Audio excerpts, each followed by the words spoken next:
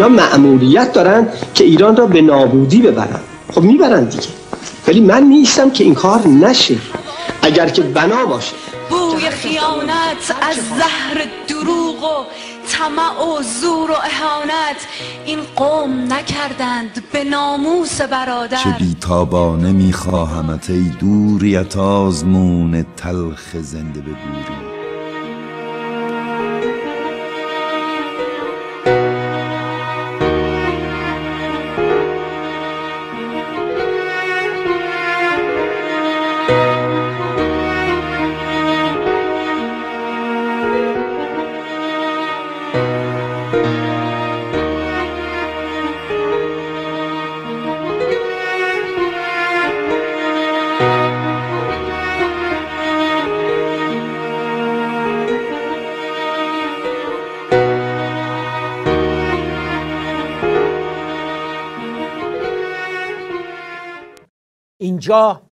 خانه من است.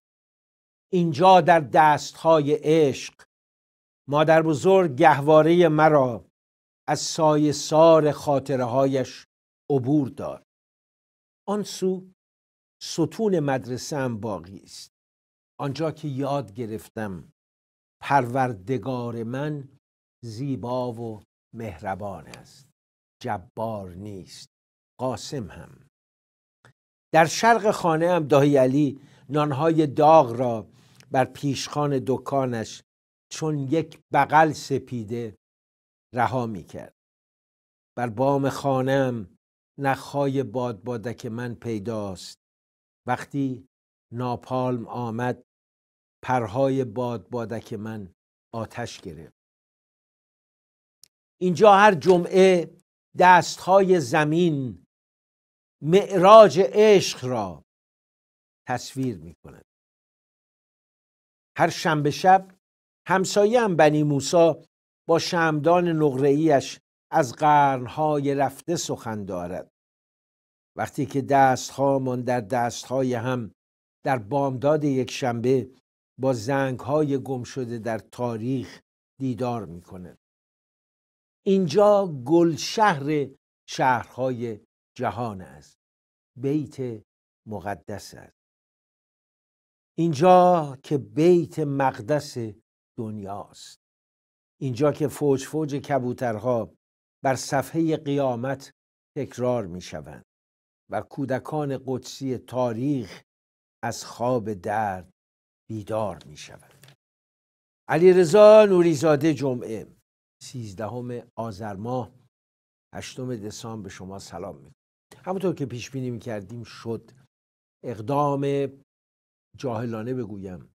بی حساب کتاب آقای ترامپ بر پای وعده که به نایاک داده اون پشت به ایپک ببخشید داده. به نایاک هم ممکن از این وعده ها بدن. به ظاهر مخالف اسرائیل حکومت ایران ولی خب در پشت پرده خدا می‌تونه. حالا هم که دکون را انداختن. اما تمام حرفاشون دروغ از سر صدق نیست. محمود عباس از سر صدق میگه. وطنشه خونشه خونه مادر بزرگش هست. مغازه اموش که خباز بود اونجا هنوز هست. همین بچه که شعر براتون خوندم. پیرمردی که کلید خونش رو داره. خونش رو ویران کردن. کسایی از روسیه از اوکراین بلاروس اومدن جای خونه او آپارتمان ساختن و زمینش رو اشغال کردن. زیتونش رو بریدن اما هنوز کلید خونش رو داره. باز می سنعود این کلمه تو دهنشون میچرخه. و باز میگرد میشه تاریخ رو تحریف کرد. جغرافیا رو تحریف کرد. میشه زمینهایی رو اشغال کرد. اما در نهایت اراده ملت هاست که تاریخ می‌سازه. فلسطینی هفتاد سال تسلیم نشدن. هفتاد سال دارن مبارزه می‌کنن. یه روز اسلحه دستشون بود. عرفات اومد بهش گفت اسلحه رو بزنیم زمین. حالا موقعی صلحه با رابین دست داد. روبوسی کردن. امید به اینکه دو کشور در کنار هم پسر ما زندگی بکنه رابین رو دست راستی های تندرو اسرائیلی کشتن. شیمون پرز رو به زمین زدن. که جاش ناتانیاهو بیاد. جمهوری اسلامی هم زمینه چید پول داد به حماس. آدم بکشید. برید برید چون نمی‌خوایم صلح بشه اونجا باید آشوب باشه. ما کرم هایی هستیم که در آشوب زندگی می‌کنیم. اگر یمن صلح و صفا باشه پس ما چی کاره؟ باید آشوب باید تو عراق آشوب باشه. باید رئیس جمهور افغانستان رو ماچش بکنیم از زیر به طالبان پول بدیم. ما ما نماد آشوبیم در دنیا. ما آشوبگرانیم. ما کشور خودمون رو ویران می‌کنیم که خونه حسن نصرالله آباد میشه چند تا فیلم براتون پخش می‌کنم. کوتاه. و فقط. با آقای خامنه دیگه کاری ندارم. تو یه نفر گفت دیگه آقا تموم شد ولش کن. دیگه درست شدنی نیست. اما با آقای روحانی میگم. چه وعده هایی به مردم دادی؟ دروغ گفتی به مردم. فریب دادی مردم آقای روحانی. همه رو فریب دادی. و مردم از ترس رئیسی گفتن به این یکی رو داره وعده هایی میده. من چند تا تصویر برات پخش می‌کنم. اگه سر تو به دیوار نکوفتی معلوم میشه که اون تتمم رفته وجود نداره.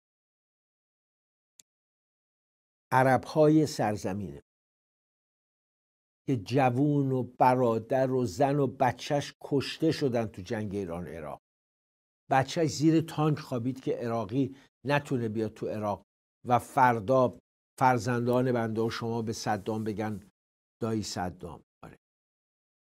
حالا زمیناشون رو می‌خوان توش کشاورزی کنه سازمان اتکا اومده میگه نه این مال ماست. پس پرده تقسیم کردن دیگه. ارتشی بیچاره خبر نداره که سازمانی که به نامشه داره این اچخاف رو به هموطنانش می‌کنه. و چقدر ارتشی ها پیش اقوام ایرانی اعتبار و منزلت دارن. هرچی سپاه روز به روز بی اعتبار میشه ارتش اعتبار بیشتری پیدا می‌کنه. نگاه کنید با هموطن عرب ایرانی ما چه می‌کنه. رو زمین خودش. نگاه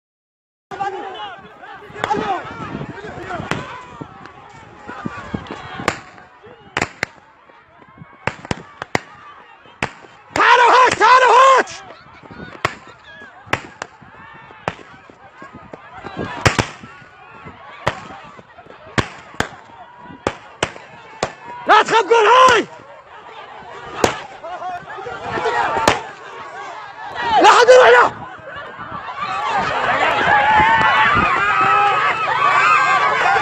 درگیری امیری انتظامی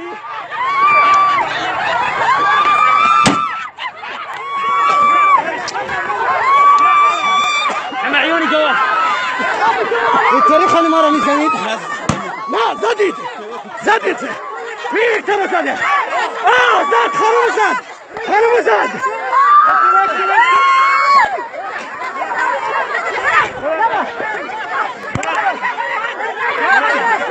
سرهات سرهات سرهات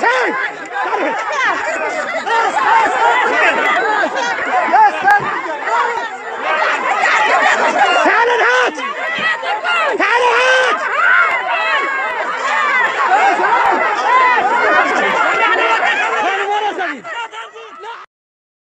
روستای جلیزی اولیا در دهلوران عربای هموطنمون. اونایی که نماد الفقر و فخری هستن. نخلشون سوخت. زیتونشون سوخت. زمینشون ویران شد. توش همش مین بود. اومدن دارن زمینشون رو بکارن. سازمان اتکا میگه این مال ماست. بخشم که سپاه آورد آقای روحانی. به مناطق زلزله که زده که تشریف بردید جرأت نکردید از ماشین پیاده شید. حالا برای اطلاع شما بنده تصویر رو براتون پخش می‌کنم. از یک مدرسه در مناطق زلزله زده با سرمای کشنده بچه های معصوم رو ببینید. کجا نشستن؟ اونم معلم تفلکشون شرم نداره این. این بچه های ما بچه های ایرانه. بچه های حسن نصرالله و بچه های عبدالمالک حوسی اینا بعد لای پرقو پرورش پیدا کنن چون یه ولیجان میگن یه صد تا دهنشون میریزه. اما بچه های کرمانشاه بچه های کرد. خب میگه آقا اینا بیشترشون سنی هن عمری هن بذار بکشن بذار بسوزن. پلو شکستی فاطمه زهرا اینجا بعد اونایشون که شیعن چی؟ تبعیض نژادگذاران این دوتا. سومی. آقای روحانی تشریف بردن سیستان. منظره رو دیدیم مردم باشون چه می‌گفتن. حالا خیابون رو بستن برای عبور مقام رئیس جمهوری محترم.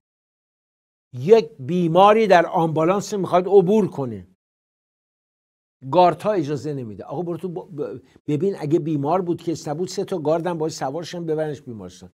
خودتون نگاه کنید و درد اون مردم رو ببینید چقدر. گوش ببینید. به خاطر کاروان ریاست جمهوری پنج کیلومتر بالاتر تصادف شده بود. الان به خاطر ریاست جمهوری بنده خدا رو به موت هم بود. یعنی آخرای اتاسش بود. به خاطر ریاست جمهوری جون یک انسان رو اینجا به تاخیر انداختن. فکر نمی کنم این بنده خدا زنده برسه به بیمارستان. که آقای رئیس جمهور از اینجا رد شه. من متاسفم واسه مملکتی واسه رئیس جمهوری که از مردم خودش بترسه. میترسی. حداقل بنده خدا رو بذار بره که داره میمیره. اونم ماشینه کاروان ریاست جمهوری که داره از اینجا رد میشه.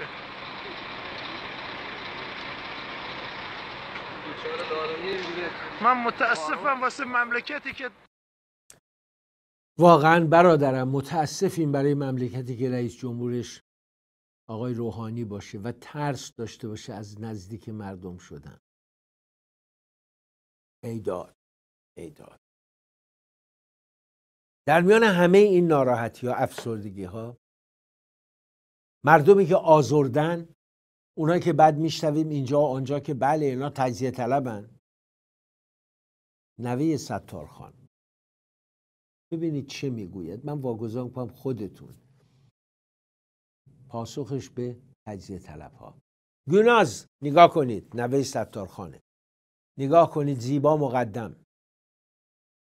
من پدرش رو دیده بودم. نگاه کنید. آذربایجان آذربایجان جدا به آذربایجان به جون من آمیخته. درود بهت زیبای مقدم. اما در مملکت خرافه امامزاده اینقین امامزاده جیمدال امامزاده غیبی امامزاده بیژن طبیعتا روحانیش هم کی میشه؟ چهار تا شالاتانی که اگه زلزله تو بم بیاد بله آقا این خانمای تهران بعد حجاب زلزله بم اومده. گند بزنه به شما. ببرید این خدای خود رو. ما این خدا رو نمی‌خوایم. خدای ما عاشق خدای ما زیباست. خدای ما بر درد بندش میگرید.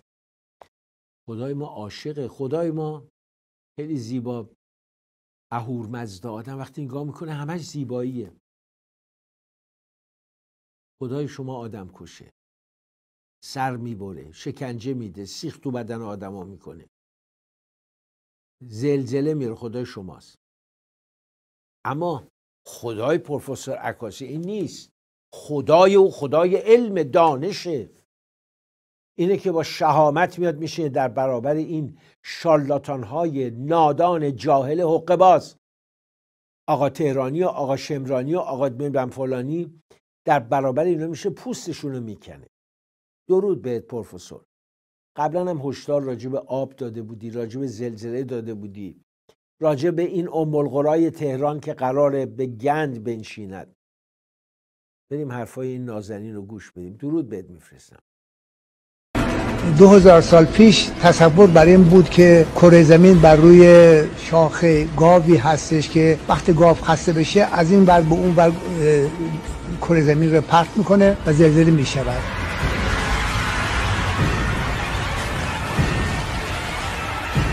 بعد از دو هزار سال الان اعتقاد بر این است که نخیر در آسمان ها تصمیم گرفته میشه.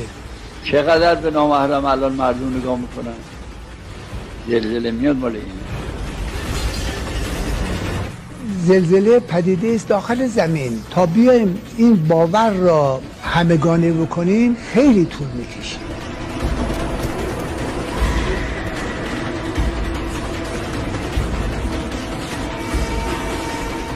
وقتی زنا توسعه پیدا بکنه زلزله فراوان میشه.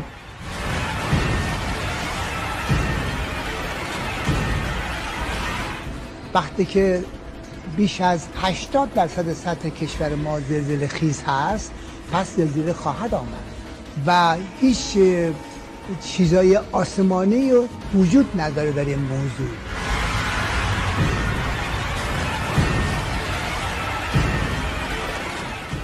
من توصیه می‌کنم که چه برای زلزله چه برای مصیبت ها و های دیگه. ما صبح یه صدقه بدیم شب یه صدقه بدیم.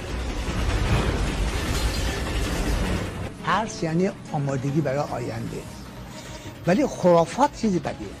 هر جا که زلزله آمده است دوباره خواهد آمد. در شکی نیست.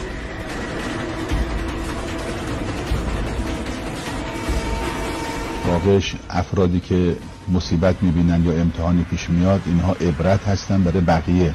ما با صدقه و با کارهای خیر این بلاها رو بیشتر دفع بکنیم و اینا امتحانهای الهیه. ایمان دارم که تهران یک روزی نابود خواهد شد. من به این ایمان دارم. معتبرترین آدم در دانش زلزله در ایران به سراحت میفرماید که آقا این بساط که پیش بینی کنیم و خرافات بیافکنیم و تشویش از هم به وجود بیاریم. کار اشتباهیه. همین الان اگر یه زلزله هفت در تهران بیاد من ایمان دارم که حداقل هفت میلیون آدم میمیره. زلزله پدیده داخل زمینی. پدیده آسمانی نیست. پدیده کاملا طبیعی. بله و میگه به جن و پری هم کاری نداره. این یک دانشمند ماست که در ایران قدر نمی‌بینه بر صدر نمینشینه. اون ملای بی سواد میره میشینه. احمد جنتی میگه صدقه بدین. خیلی هم اتفاقا خوب آدم کمک به آدمای محروم بکنه. اما تو دوست چرا نمی‌کنی؟ تو دوست چرا این کارو نمی‌کنی؟ شما جمع دزدان علی بابا چل دوز بغداد. شما چرا نمی‌کنی؟ شما چرا ملتی رو به فقر و گدایی نشوندید؟ این ملت سربلند بود. ملت با وقتی که دلار میشه 4900 تومن 5000 تومن. 5000 تومن یه دلار. معلوم خوب مملکت به کجا می‌کشه فساد میاد توش همه چی میشه. برای اینکه شما مرفه و چارم چلوار به سرتون دومت پیچیدین و ملت رو دارید میچاپید قارت می‌کنید. بنابراین برای شما شما این خیالتون نیست. مهم نیست و تو زلزله بیاد یه باب دیگه باز شده برای دزدی. برای شما اشکال نداره هادی خورسندی عزیزم این تیکه که اسفندیار رحیم مشایی با بی ادبی با اون مدل نشستن. نسبت حرف تو برنامهش گذاشته بود. من دقت کردم. اسفندیار رحیم مشایی یه شیش دقیقه دعا می‌خوند و امام زمان و غیره. خب همه دکونه. تو اگر تبریک اون وقت بعدم چی میگه؟ نهم ربیع الاول یعنی چی؟ یعنی روز کشتن خلیفه دوم. روزی که اینا یه مجسمه کثیف درست می‌کنن. عمر عمر عمر عمر عمر یادمه کودک بودم اینا بود ور افتاد برچیده شد. این عادات جاهلی برچیده شد. عرب جاهلی بود. ما جاهلی در قرن 21 هستیم. بریم تو عراق تو خونه های شیعه ها ببینید چیکار می‌کنه اونا از ما بدتر. پاکستان بریم ما بدتر. و بعد اسباب شگفتی است. آقای اسفندیار رحیم مشایی که معاون مثلا روشنفکر آقای احمدی نژاد درس خونده وسط شده بله و روز نهم ربیع الاول هم البته. تولد امام هادیش دروغه. تمام این چیزایی که درست کردن دروغه. برای هر امامی 15 ولادت گذاشتن. که اصلا نمی‌دونه کدوم درسته. ببینید چه کار اینا. اگر اینا باقی بمونن چه کار خواهند کرد؟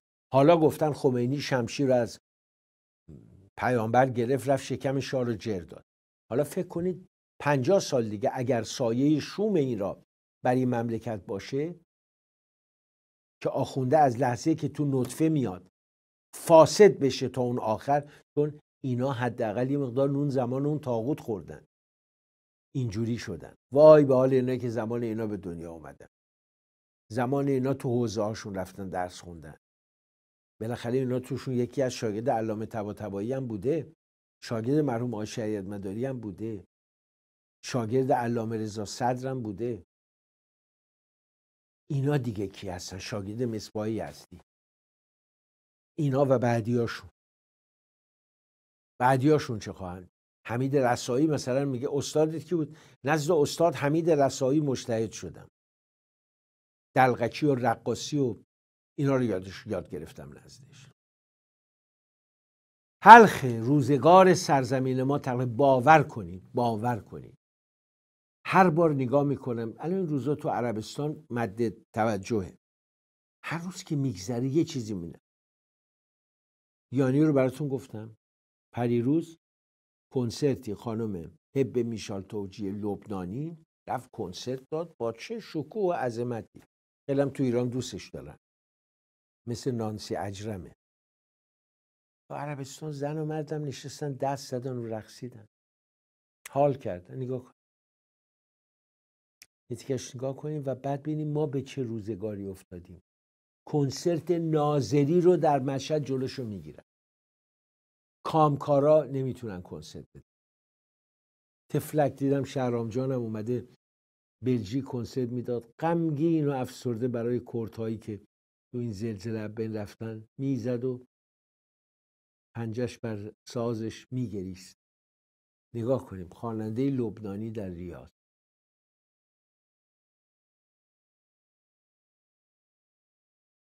یا مرداد خان رضوی سید مرداد خان. هفته ده 15 تا برای من ایمیل میده. دیگر دوستان میگن آقا ایمیل ها رو چرا تو شما ایران فردا نمی‌خونید؟ چرا این کارم می‌کنم؟ ولی اگه ایمیل ها رو بیام وقت گرفتار صداهاتون رو نمی‌تونم پخش کنم. اینقدر برای من ایمیل میفرستی. خود مرداد خان در 15 تا میفرسته. هر ایمیلش هم برای یه برنامه یعنی همه رو می‌بینه. و خب ما رو بشارت میده که جهنم در انتظارمون و خدای جبار و قاسم چوب و داغ کرده منتظر ماست و سوزنای همچون تیز منتظره که توی سراپای ما فرو بره. و گاهی اوقات افسوس می‌خورم برای ببینید شما برای یه آدم نادان یه آدم نادان جاهل یعنی داستان همون موسا و شبان. آدم جاهل نمی‌دونه. خدای اگه اینجا بودی الان به جان تو یک آبگوشتی برات میپختم حال کنی. این داره حال می‌کنه با خودش. ولی اونی که داره راه میره میگه من که می‌دونم خدایی وجود نداره ولی رو تظاهر می‌کنم برای که مردم فریب بده این دوتا تفاوت دارن با اسمش خداست طبیعت هر چی از کهکشان آسمون من نمی‌دونم. یه قاعده و ضابطه ای داره. من این قاعده و ضابطه رو فهمیدم درک کردم. کاملا فهمیدم. در یه شرایطی بودم چشم هم گذاشتم با خودم تعمل کردم. حالم خوب شده. از اون فضا اومدم بیرون. اما اون دروغ میگه اون که فریب کاره. ایستاده بود آخونده نماز می‌خوند. من هم زل زده بودم همینجوری بهش نگاه می‌کردم. به نظرم من می‌گفتم این تو حال خودشه. نمازش تموم شد نشست داشت دعا می‌خوند. گفت الهی این سید بیچاره رو به وصلش برسون. حالا عاشق شده بود راجبه داشت دعا می‌خوند. و قصه هایی از این چنین بسیار دیدم. از این جماعت فاسدشون و آدم خوباشون خیلی تا ابد ابد که باشم میگم علامه رضا سعد آقا موسی سعد اینا نازنین بود. می‌گویم مرحوم های شریعت مداری نازنین بود. خیلی دیدم توشون. آدم حسابی زیاد دیدم. صدر بلاغی بود مرد وارسته نازنین. مرحوم ستایشگر جندقی ها دارم عمل دیدم. قوامزاده. ولی ناجورشونم ناجور مرحوم شریف الدین مشکور همکلاسی مدرسه ما بود. بعد اموش وصیت کرد که این روحانی بشه. چون پدرش هم حالا جوون بود خوش قیافه اون لباس هم که پوشته بود اهل عرفان بود. با زندیات منوشر سخایی می‌رفتیم پیشش. هم کلاسی ما هم بود و خیلی هم لطف داشت. اینو در جریان ماجرای مرحوم قدس گرفتن. آنقدر شکنجش کرده بودن که من از یه روحانی دیگه که اونم در زندا بود شنیدم که شبها زار می‌زد و از خدا می‌خواست ببرنش. کشته بشه بمیره اعدام بشه. می‌گفت دیگه طاقت نداره. یه کمی سمین بود. و می‌گفت این از شدت ضربای شلاق پوستش باز شده بود از هم. و این مؤمنان اسلام ناب انقلابی محمدی رو شبا نمک میریخت. و این تا صبح نعره می‌زد و به خودش میپیچید تو سلول انفرادی. یعنی کسی هم نبود به دادش برسه. دستاش هم میبستن. در چه خودش هم نمی‌تونست تازه پشتش بود چی کار می‌کرد. گفتم سمین بود. چندین نوبت اینو از سقف آویزون کرده بودن تمام دست و شانش و اینا در رفته بود. با یه روحانی اینا این کار کرده من مشکور از اون خانواده محترم و معتبر. بنابراین اینا به هیچ چیز اعتقاد داره میگه قدس داره میگه فلسطین دروغ میگه. انقلاب اسلامی باعث شکست انقلاب فلسطین شد. باعث شد ملت فلسطین به کشورش نرسه. به خاطر ظهور خمینی. مدعا ما, ما یاری ملت فلسطین. اما چی؟ فقط به تروریستا پول می‌دادن. هر زمان امکان صلح پیدا میشه خرابکاری بکنن که دست های اسرائیل برنده بشه. همون که امروز می‌بینیم. کو شیمون پرز؟ هیچ دیگه اثری مردن رفتن تموم شد. تموم شدن رفتن. خانم لونی چی شد؟ حالا باید ناتان یاهو بیاد. باید لیبرمن بیاد. تعملی می‌کنیم و ترانه میشنویم و باز میگردیم. ای سارم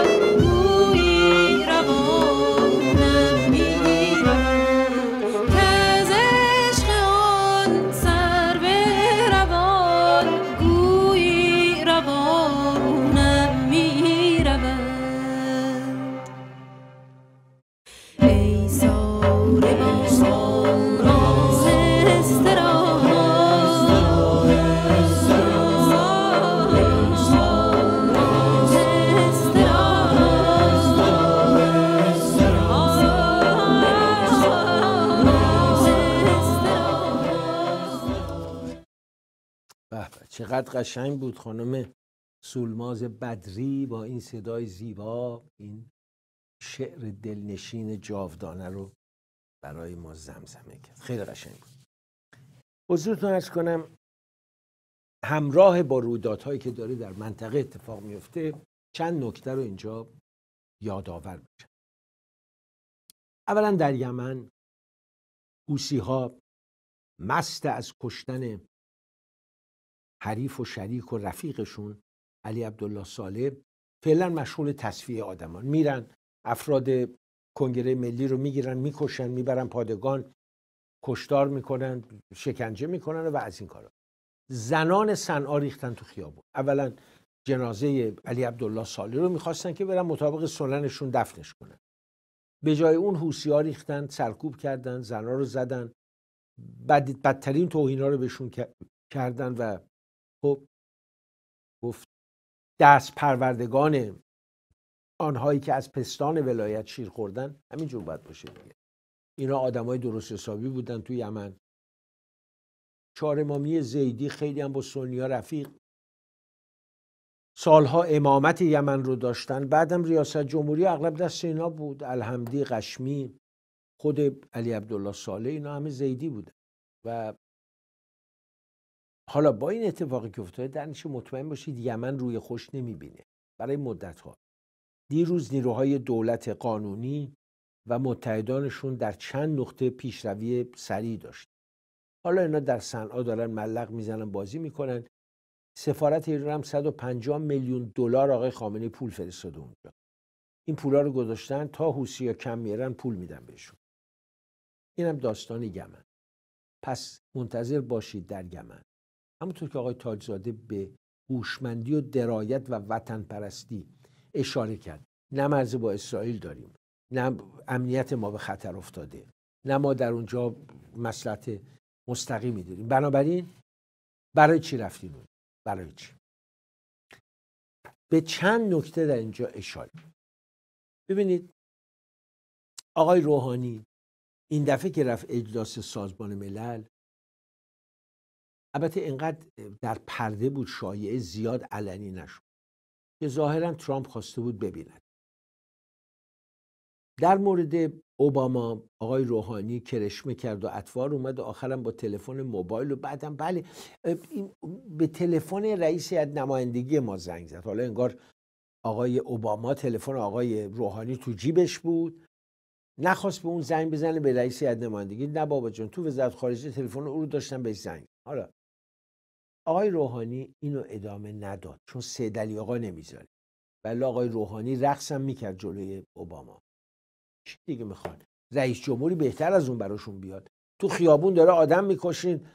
پاسدارا آقای اوباما برای ولی فقیه نامه عاشقانه می‌نویسه. چی دیگه می‌خواستن؟ بهتر از این نبود. نکرد. ترامپ اینا اول با خوشبینی. گفتن خب ترامپ مثل بقیه نیست مثل کلینتون نیست اینجوری نیست. با ترامپ کنار میاد. شما برای کنار اومدن برای رقص تانگو کردن دو طرف باید بیاد. نمی‌تونید به یکی بیا آقای ترامپ تو بیا وسط میدون. شروع کن تانگو برقص با خودت. ما یه یه رو نیم ساعتی تماشات کنیم. اگر اگر خوشمون اومد اون وقت میام یه قر باد نمیشه. دوتایی باید با هم قر این کاری که آقای ترامپ کرد در مورد بیت المقدس نخواهد گرفت. مصیبت برای امریکاست. بیت المقدس دو قسمت. یه قسمتش در اشغال اشغالگران اسرائیلی است. آقای ترامپ باید میگو بخش غربی بیت المقدس و بخش شرقی رو به عنوان پایتخت فلسطین می‌شناسن اون وقت ترامپ تاریخی می‌شد. در رقص تانگوی با ترامپ هم دو نفره باید بیاد. شرق بیت المقدس شرق ام تهران باید بیاد با غرب ام نیویورک با هم دیگه برقصن. باید با هم هجانس داشته آقای ظریف آقای قضایی اینا بودو بودو من پیش آقای روحانی تو هتلش. آقا پیغام به ما دادن که آقای تیلرسون دوست داره که منو ببینه ظریف و من برم ببینمش. بعدم آقای ترامپ می‌خواد شما رو ببینه. به دو صورت هم این جلسه می‌تونه برگزار بشه. یا top secret هیچکی نفهمه. در یک عرض زمین بیطرف. برقرار میشه. میریم مذاکره می‌کنیم.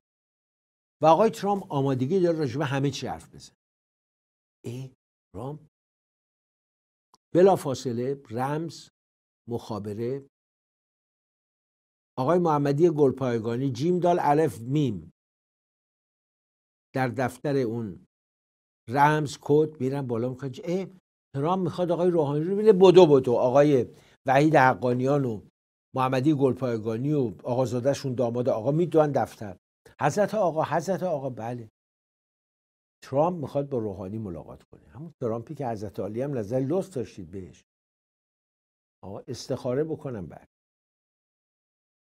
استخاره میفرمایند و این سفیر روسیه هم بهش زنگ بزنی یه زنگم به اون می‌زنن و استمزاج رأی آیت الله مسکویی رو می‌کنن.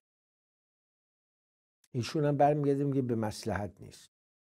بزنیم به آقای پوتین بگه ولی به نظر من به مسلحت همین کافی است استخاره بد اومد. هیچ. به روحانی خبر بده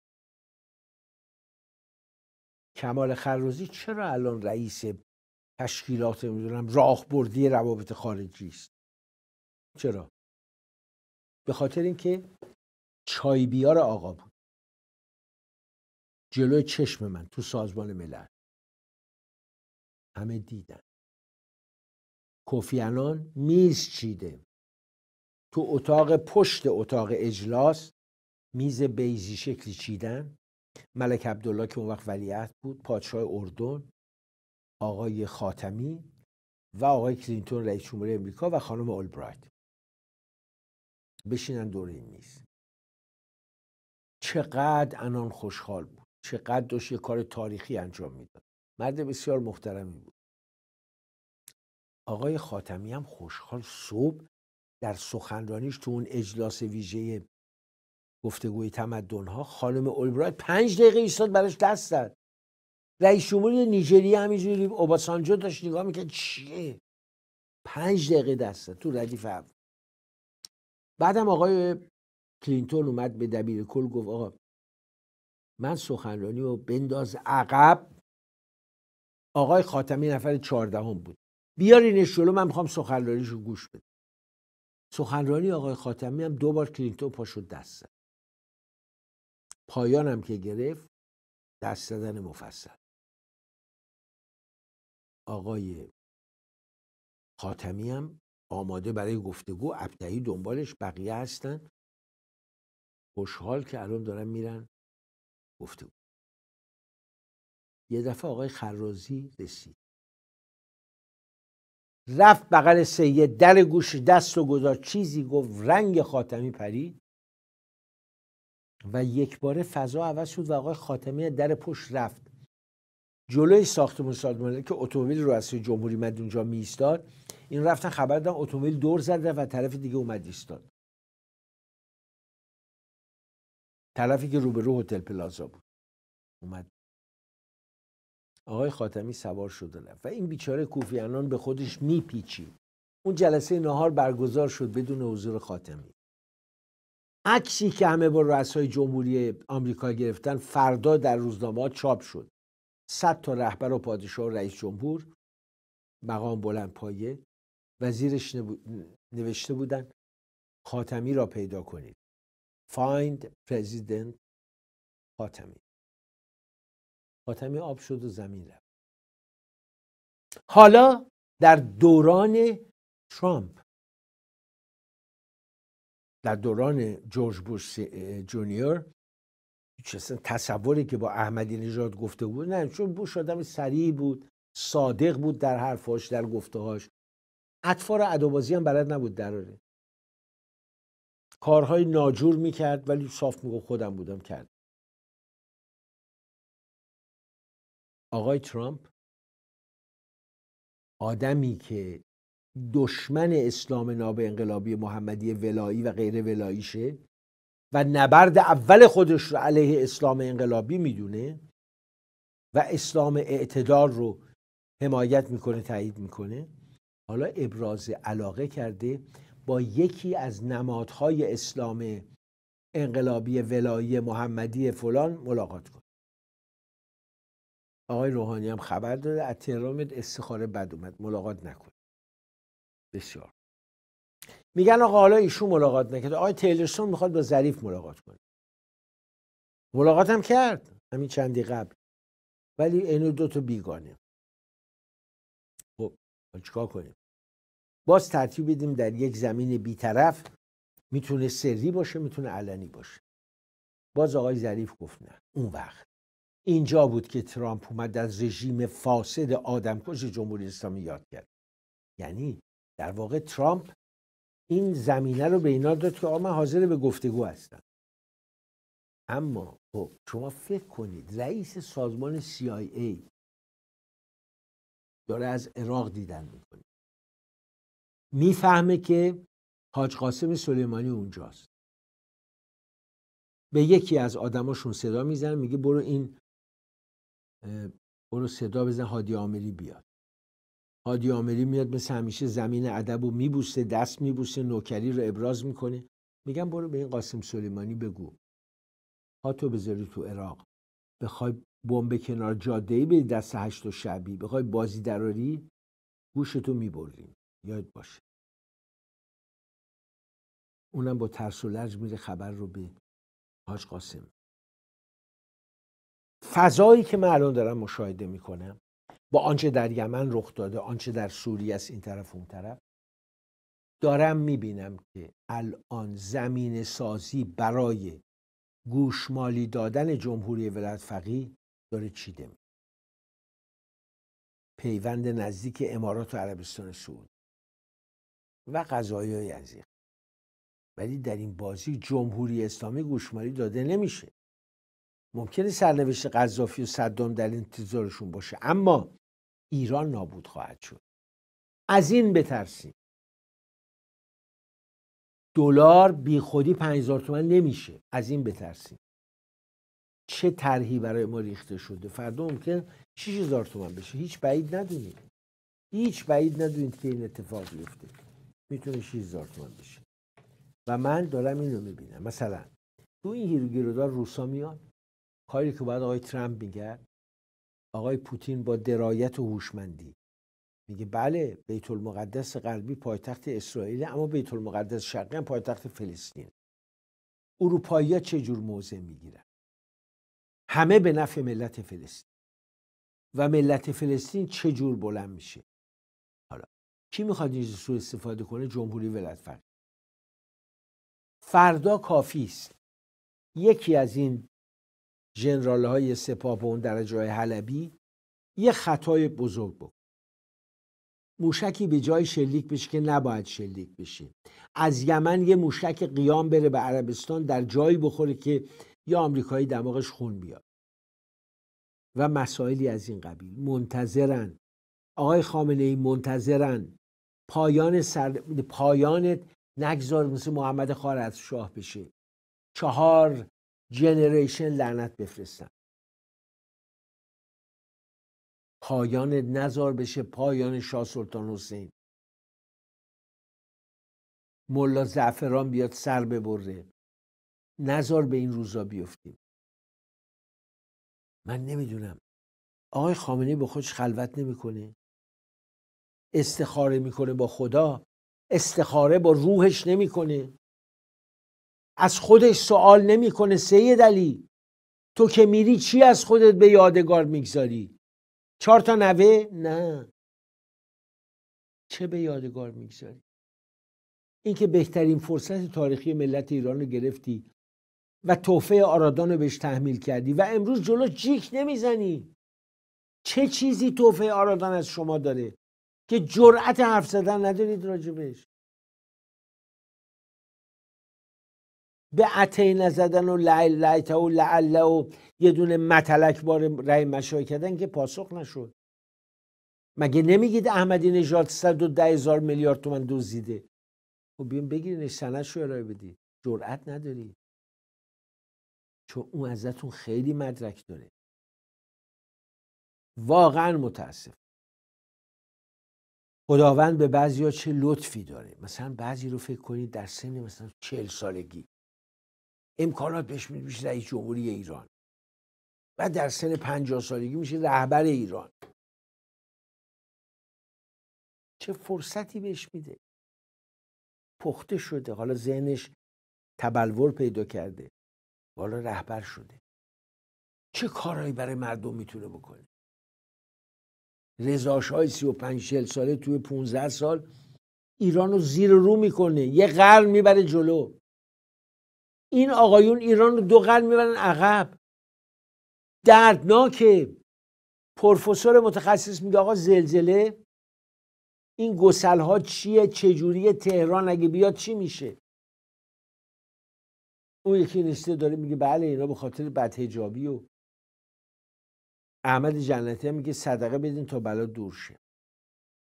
عقب افتاده ها ما کشورمون گرفتار یه مش عقب افتاده شده. که بر سرزمین ما حکومت افسوس افسوس می‌خوره به هر روی آنچه در منطقه میگذرد بسیار خطرناک. دیروز می‌دیدم فلسطین و این ور رو واقعا دردناک. الان عید میلاد دیگه میلاد مسیح. تو بعضی از این شهرهای فلسطینی بیت اللحم جاهای دیگه مراسم بزرگی برپاس. ابو مازن هم میره تو کلیسای قیامت و متاسفانه امسال طرحی که آقای دونالد ترامپ تصویب کرد اون فضای سبز و زیبا و با برف رو خونین خواهد بسیار دردناک. در ژنو ژنو هشت اپوزیسیون سوریه حضور دارد. دولت سوریه نمایندگانش رو نفرستاده. آقای جعفری نرفت. به این بهانه که اپوزیسیون باید پیش شرط رفتن اسد رو برداره. اپوزیسیون هم میگه اصلا اصل مبارزه ماست. این این مرده آدمکش باید بره. بدون رفتن او سوریه آرامش نخواهد دید. اما ما نمیگیم همین الان بره بریم. کابینه ائتلافی رو تشکیل بدیم اونم چند تا وزیر داشته باشه. بعد انتخابات آزاد برگزار کنیم. آقای بشار و حامیان ولایت فقیهش هم میگن نخیر بشار جان باید بمونه. نمی‌تونه بمونه. باید بره. امروز اپوزیسیون چه اعتباری پیدا کرده؟ 140 نفر تو ریاض جمع شدن هیئت 36 نفره رفته. از همه گروه ها اطیاف هستن. و در مقابل آن مرده که بی آبرو روز به روز بی آبروتر میشه. و من واقعا بسیار متاسفم که سرزمین من آتش بیار معرکه قلم داد. خطاب به جمهوری ولایت فقیه. وقتی میگه آقای ترامپ و دیگران خطاب به این رژیم تروریست پروره. یک رژیم حامی تروریست. دردناکه ها یه که کوتاه می‌خوام براتون پخش بکنم قبل از خدافزی دخترک های معصوم آوردن مشاعره بکنه. طبیعتا دختر بچه ها بیان مشاعره کنن قشنگه ما فرزندان ایرانی بود اما ببینید اینا چه شعرهایی می‌خونن. نوع تربیت رو نگاه کنیم پدر و مادر عزیزان من. بچهتون رو بذارید تو فضای کودکانه. این همه شعر زیبا یمینی شریف گفته ایرج میرزا گفته اینا همه قشنگه برای بچه ها گوش بدید. دلا پیامی نفرستاد. من فکر کنم گوش او شارژ ندارم شما می‌تونی بازم با ده برامون بخونی؟ بله. بفرما. در خونه عروس خانوم آب رک میرد میشه. چوب بیارین پل ببندین عروس خانوم رد بشه. خیلی ممنون متشکر شما با هم می‌تونی برامون شعر بخونی؟ هر آن کس که دندان دهد نان دهد. هر آن کس که موشک خواهد جان دهد. جان دهد؟ اینجوری جان دهد؟ شما می‌تونی با ده بخونی برامون؟ بخون. دلم با یار نو دارد سر و کار. نه آمد کهنه میگردد دلازا الا ای همسر خوب و وفادار. تو لطفا بچه هایم را نگهدار نگهدار بگو چی؟ دخترک کوچولوی نازنینم. این شعر تو نیست عزیز. باید بخونیم ما گلهای خندانیم فرزندان ایران. در روستای باغستان با بهروز آفاق با تاجیبای نویسنده تاجیک با خانم مطلوبه شیرالی آوا خبرنگار بی بی سی. نوروز رو جشن گرفتیم. و کودکان آمدند. ما گلهای خندانی فرزندان ایران رو خوند و ما گریست. ایران سربلند. ایرانی سرفراز. پرچم زیبای سرنگ شیر و خورشید نشان هماره برافراشت. علیرضا نوریزاده تا دوشنبه همه شما را به پروردگار عاشق می